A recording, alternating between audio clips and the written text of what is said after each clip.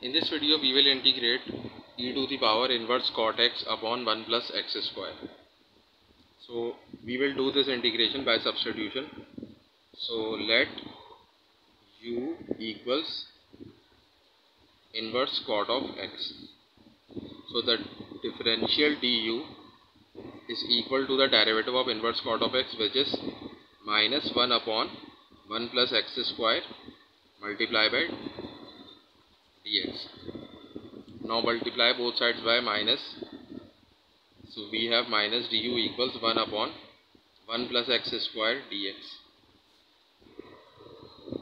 Now suppose the above integral is i and the integral can be written as e to the power inverse cot of x multiply by 1 upon 1 plus x square dx.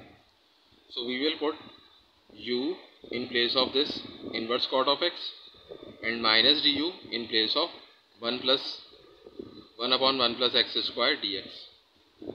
So the integral i can be written as e to the power u minus du.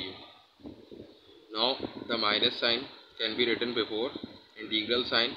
So minus integral of e to the power u du and the integral of e to the power u is e to the power u plus c where c is the constant of integration and then we will put the value of u which is inverse cot of x plus c.